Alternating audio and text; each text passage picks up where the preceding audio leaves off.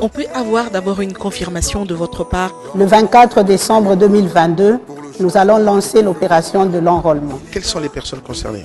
Tous les Congolais âgés de 18 ans révolus à la date du dernier scrutin du cycle électoral sont concernés par la révision du fichier. Donc il y aura une campagne en fait tout azimut pour pouvoir atteindre le Congolais là où il est. Et en quoi consiste euh, concrètement cette application? RERAP est une application qui permet un enregistrement rapide des électeurs requérants à partir de n'importe quel endroit. On- sait que cette fois-ci, l'innovation, c'est que les, les Congolais résidant à l'étranger, Que ce n'est pas des Congolais vivant à l'étranger, mais c'est des Congolais résidents. Est-ce qu'un électeur peut s'enrôler plus d'une fois? Il est strictement interdit de se faire enrôler plus d'une fois. Cela constitue une infraction. D'ailleurs, pour votre information, en 2023, la carte d'électeur obtenue en 2016 ne sera plus valide.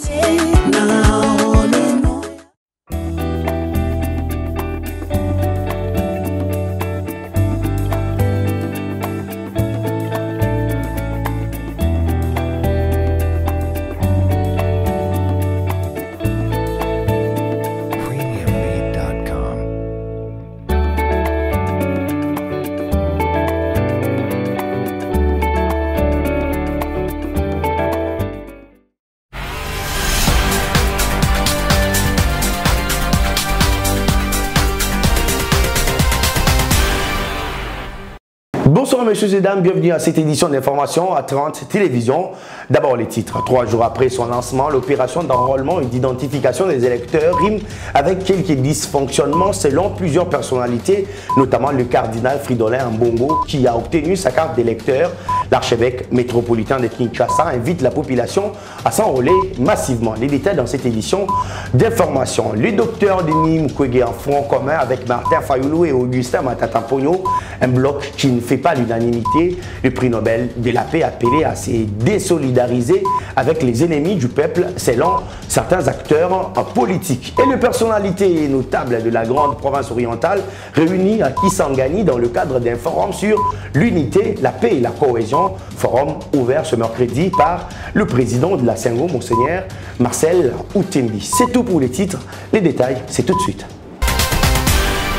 Bonsoir. Contrairement à certaines rumeurs relayées ça et là, il n'y a pas de rebelles M23 à Massissi dans la province du Nord Kivu. Des assurances des forces armées de la République démocratique du Congo pour couper court aux fausses informations des M23 soutenues par l'armée rwandaise. Images et commentaires. Faux, le M23 et alliés n'ont pas le contrôle des Karinga à Massissi.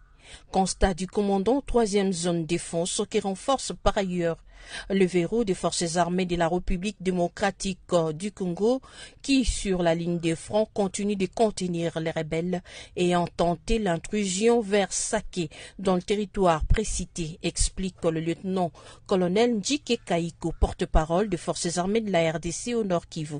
Ils ont fait semblant, n'est-ce pas, d'abandonner Kibumba, qui n'ont pas vraiment abandonné, et ils ont amené tous les renforts vers ces coins et ils pensaient que ce sera facile.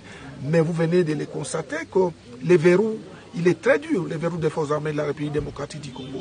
Donc c'est dans ce cadre-là que le, commandant 3e zone de défense, le lieutenant général Marcel Mbangou, a tenu lui-même à venir dans la zone. Il a réconforté les militaires et il a rassuré par la même occasion nos populations qui vivent dans cette zone. Le colonel Ndike a un mot pour les habitants fuyant à cause de la rumeur répandue faisant état d'attaques à Kimoka. Réaction normale de tout être humain par rapport, n'est-ce pas, à un danger, c'est de se mettre à l'abri. Mais vous venez de constater avec moi que Karenga, dans sa totalité, est sous contrôle des forces armées de la République démocratique du Congo. Donc, euh, c'est ici aussi le lieu d'appeler la population à ne pas se laisser emporter, n'est-ce pas, par cette guerre médiatique, par ce chantage que fait l'armée rwandaise et ses différents alliés. Ils sont en train de faire face à la puissance des faits des forces armées de la République démocratique du Congo. Et je vous rassure ici, n'est-ce pas, que nous allons les contenir dans leur position et ils doivent rentrer d'où ils sont venus. Le lieutenant-général Mbangou Machita Marcel, vous le savez, il est commandant troisième zone défense. Il a par cette occasion réarmé le moral des hommes alignés sur la ligne de front face à ceux qui, selon lui, viole les conclusions du sommet de Luanda. Je le dis dans le titre, ouverture ce mercredi à Kisangani du Forum pour l'unité, la paix, la cohésion et le développement de l'espace Grande Province orientale, événement qui a réuni plusieurs personnalités et notables de la Grande Orientale sous la facilitation des Monseigneur Marcel Outembi, président de la conférence épiscopale nationale du Congo. La suite dans ses commentaires. Ce forum qui réunit la société civile, forces vives, notabilité, confessions religieuses, acteurs politiques, les associations des jeunes et celles de femmes, des universités et étudiants se tient dans les soucis de débattre sur le problème des provinces afin de prendre des décisions et orientations pour le développement des quatre provinces qui composent cet espace. Après la prière d'ouverture faite par l'évêque Samuel Lukita de l'église du Christ au Congo, Marcel Outembi, archevêque métropolitain de Kisangani, a indiqué que ce forum va s'articuler autour des différents problèmes de cette grande province orientale. Deux questions qui seront examinées s'articulent autour des trois grands défis, à savoir l'unité, la paix, la sécurité, le développement socio-économique et la coopération interprovinciale, la gouvernance, la participation et le leadership politique. Cet homme des dieux est revenu sur les différents défis, notamment sur le plan sécuritaire, environnemental et leadership politique. Choisi comme facilitateur des assises, Marcel Outembi a réitéré son vœu de voir le peuple de ce coin du pays uni afin de développer le province qui compose la grande province orientale. Durant quatre jours, soit du 27 au 30 décembre, les participants s'efforceront d'identifier les voies et moyens appropriés pour rencontrer les défis et monter des stratégies pour promouvoir l'unité, la cohésion, la paix, le leadership collectif, la solidarité et le développement des quatre provinces et de la République démocratique du Congo. Processus électoral, le cardinal Fridolin Bongo a obtenu sa carte d'électeur mardi à Kinshasa. Au sortir du centre d'enrôlement, l'archevêque métropolitain de Kinshasa a livré ses impressions. Je vous propose de les suivre au micro de Rachel Kitsita. Aujourd'hui, j'ai trouvé le temps de passer, me faire enrôler. Parce que je crois aux élections, je crois que de bonnes élections peuvent changer le devenir du peuple congolais. Je suis arrivé dans ce centre, ici au collège Saint-Raphaël. J'ai été très très bien reçu par le, personnel commué au service, très gentil, et le service a été fait comme euh, il se doit. J'ai seulement constaté que euh, l'image est en, en blanc-noir, contrairement à ce qu'on avait avant. Pour le reste, si j'ai un message pour la population, c'est plutôt un message d'encouragement, de mobilisation, de sensibilisation pour que tous ceux qui ont l'âge, qui remplissent les conditions de se faire enrôler, puissent venir nombreux. À partir de l'enrôlement, nous saurons par circonscription combien de sièges revient et plus on est nombreux, plus nous savons faire de bons choix Toujours dans ce même chapitre, le président du parti politique Engagement pour la citoyenneté et le développement a également obtenu sa carte d'électeur ce mercredi. Martin Fayoulou Madidi note toutefois quelques couacs dans le processus d'obtention de la nouvelle carte. Le cadre de la coalition Lamouka évoque notamment le problème de la durée de cette opération d'enrôlement et d'identification des électeurs. Il invite par ailleurs la population congolaise en général à s'inscrire dans cette ligne droite et à obtenir la carte d'électeur. L'appel en enrôlement massif également lancé par le gouverneur de la province du Wetouélé, Christophe Basséa Nananga, appel lancé de son retour à la province après sa participation à la conférence de gouverneurs.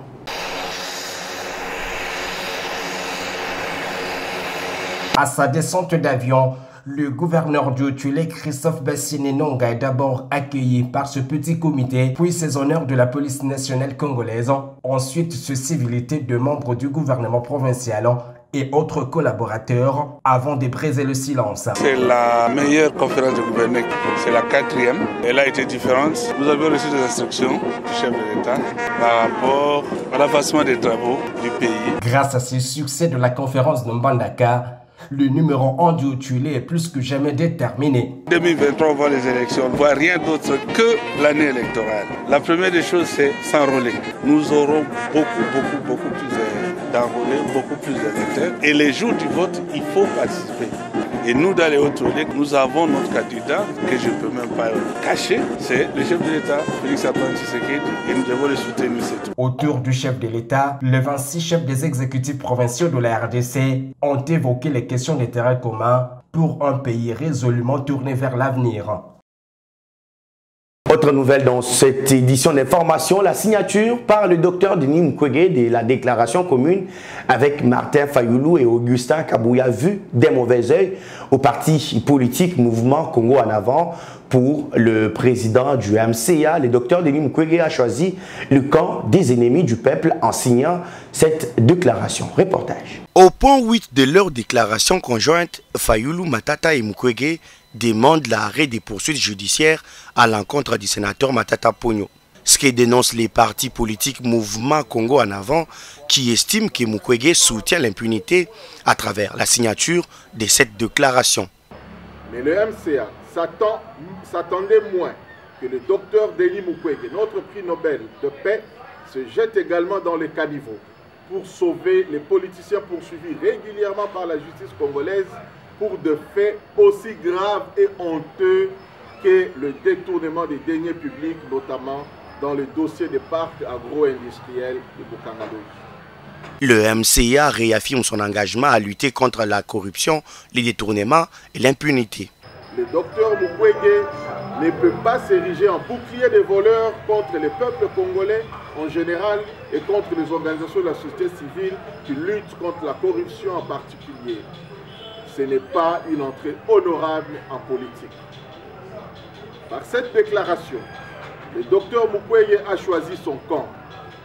Malheureusement, celui des ennemis du peuple, le camp de ceux qui narguent le peuple et ne lui accordent aucun respect pour lui garantir une rédévabilité. Par ailleurs, ce parti appelle à la prise de conscience de toute la population congolaise. Et dans leur euh, déclaration, Martin Fayoulou, Augustin, Matata Pono et le docteur Denis Mukwege, ces trois personnalités congolaises ont dénoncé un déficit de leadership et, de gouvernance de la part de l'administration Tshisekedi. Ils ont également qualifié d'irresponsable et de répressif le régime de Félix Antoine Tshisekedi. Autre chose, l'Assemblée nationale félicitée pour avoir entérimé la nouvelle équipe de la CNDH, la Commission nationale des droits de l'homme déclaration du comité de suivi et d'accompagnement de la CNDH, cette structure qui invite euh, également le président de la République, Félix Tshisekedi, à investir les nouvelles autorités de la CNDH. Suivez. Le comité de suivi d'accompagnement de la Commission nationale des droits de l'homme et le mouvement citoyen félicite le bureau de l'Assemblée nationale d'avoir exercé ces prérogatives reconnues par la loi organique numéro 13011 à son article 16 pour avoir initié le processus pour le choix de membres de la CNDH et de leur sagesse de la prise en compte de tous les candidats enregistrés au niveau du bureau. Félicite les composantes pour leur maturité lors des désignations de leurs pairs. Exhorte l'équipe sortante de faire une passation pacifique avec l'équipe entrante pour défendre les acquis de l'institution tels que les statuts A.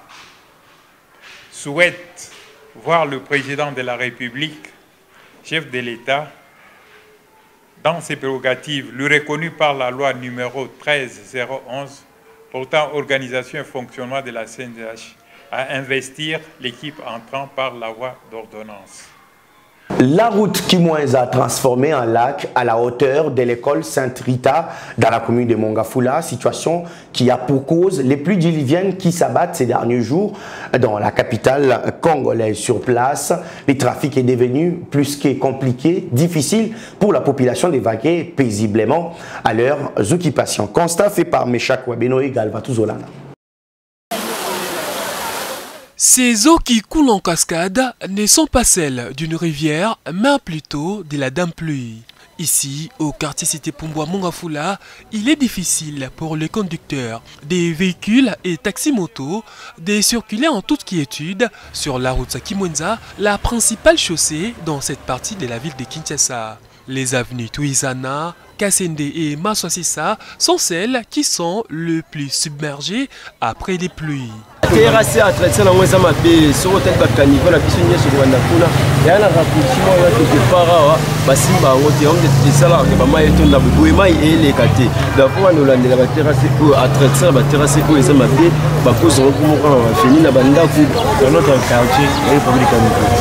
ça fait plus de 7 mois nos niveaux sont bouchés euh, c'était quel jour le samedi passé, notre euh. Il a dit non, il faut faire les entretiens. On a fait les entretiens. Aucun fait qui est venu pour prendre le, statut qu'on avait dégagé. En tout cas, ils a passé. Mais dans minute, on a tala, tala mystique vraiment oyo esali deux semaines ebakisami Les eaux qui débordent suite notamment au non-curage à des caniveaux prennent également la direction de l'école Christ-Roi située à quelques encablures. Ici, l'eau n'empêche pas seulement la tenue des cours, mais constitue également un danger pour les occupants des parcelles environnantes à cause d'un ravin qui a déjà créé des dégâts. Ça fait longtemps qu'on a parlé de cette situation, mais aucune intervention de l'État. C'est l'État qui doit intervenir normalement. Eh? Toutes les eaux, au moins à venir à Kimwenza, aux eaux qui ne ti Kimwenza gare, au longwe euh, croisement ya oyo ya biso ya boulangerie ti Kimwenza, bamai nyonso ebushe kuna nyonso ezokita koto. C'est beau, paroisse Sainte-Rita.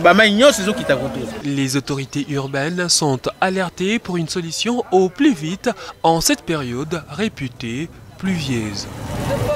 Mesdames et messieurs, c'est par cette nouvelle que nous mettons point à cette édition d'information. Merci à vous de l'avoir suivi. L'actualité reste en continu sur www.actu30.cd. Au revoir.